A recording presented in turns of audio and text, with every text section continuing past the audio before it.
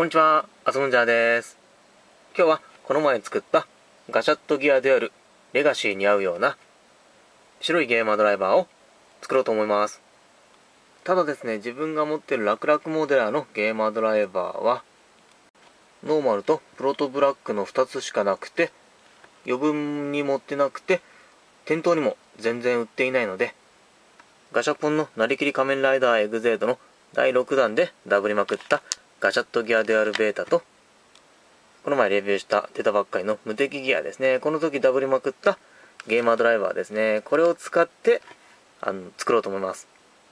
ちなみに、この上から直接白いスプレーで塗装すると、ファンタジーゲーマーの時みたいに元の色が透けて完全な白にならないんですよね。なので、今回はあのコメントで教えてもらったように、一旦シルバーで塗ろうと思います。それでは後ろからちゃちゃっと塗装しますね。うわ。反対いきます。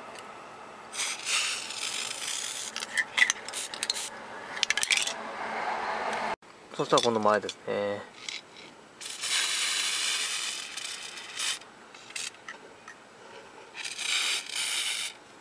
おおガチャットの方行きます。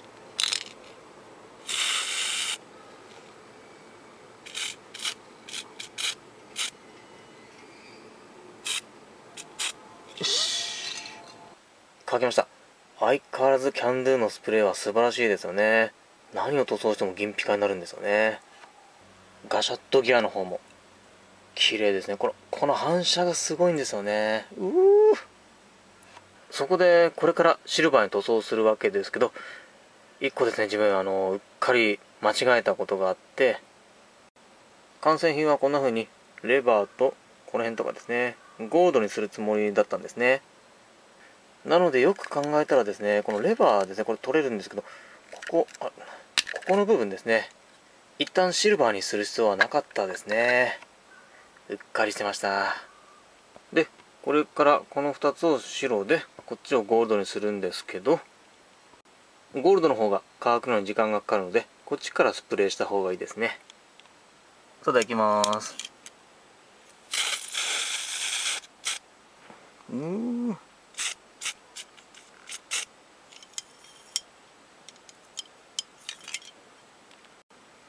裏ですね。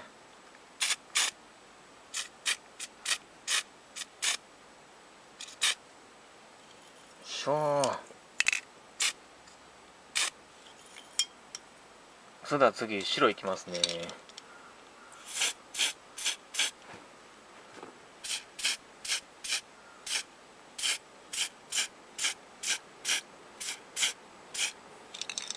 うん。あれなんかけてきちゃった感じですかね。なんかあれ？ちょっとあの二度塗りしてみたんですけどちょっとやっぱりシルバーが溶けてきちゃいますね。このキャンドゥのスプレーだとちょっと相性悪いっぽいですね。ちょっとこれはまずいですね。えーとですね今回は急遽もう一個のダブルを使って直接ちょっと白塗ってみます。いきますね。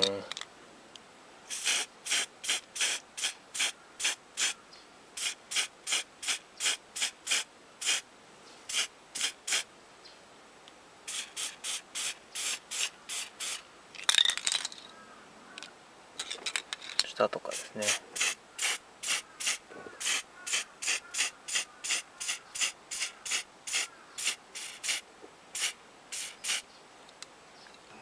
えーとですねやっぱり直接白を塗るとちょっとですね結構緑がかってるのでこの前黒くしたやつですね。これのちょっとあのここの部分だけちょっと使って塗装します。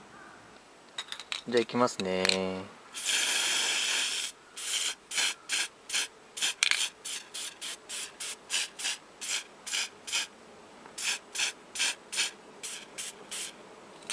おおあとはギアデュアルですね。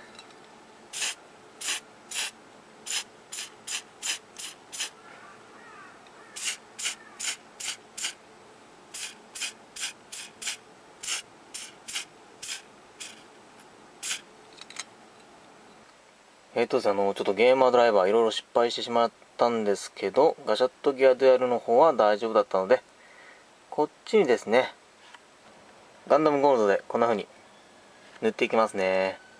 塗りました。ちょっとですね、ある程度面積があったので、結構時間がかかりました。スプレーした方が良かったかもしれないですね。あとは、シールを貼ります。貼りました。こっちの大きい方の楽々モデラーと並べると、こんな感じです。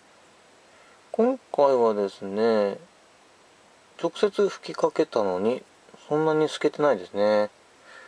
この楽々モデラーの青は結構透けちゃったんですよね。で、これが反対側こんな感じで、まあ本当はここもゴールドなんですよね。なので、やっぱりマスキングテープ貼って、まあ、スプレーで拭いた方が良かったかもしれないですね。ちなみに、このゴールドはスプレーのゴールドで、こっちはガンダムゴールドです。ちょっと色が違うんですよね。そして次は問題のゲーマードライバーです。これが最初のシルバーの上に白を拭いたやつで、こういう風になんか、なんかシルバーが滲んできちゃったんですよね。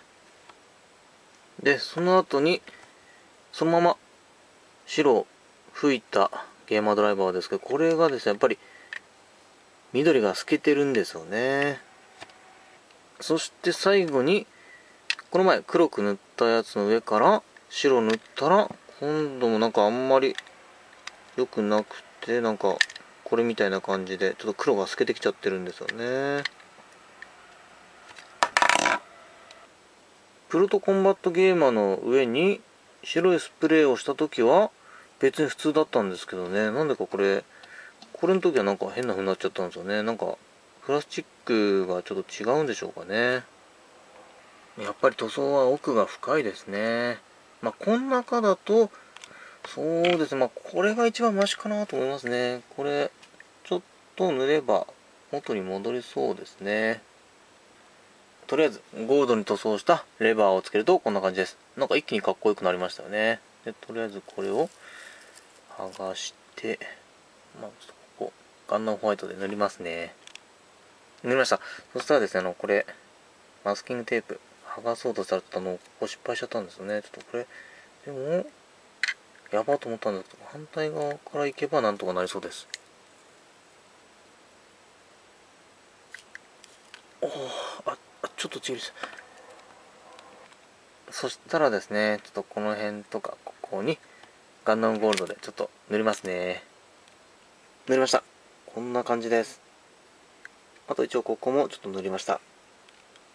普通のと並べるとこんな感じです。一旦ですね、ここの黒塗ったんですけど、ちょっと合わなかったので、ちょっと消しました。このままの方がいいと思います。ガシャッとセットすると、こんな感じですね。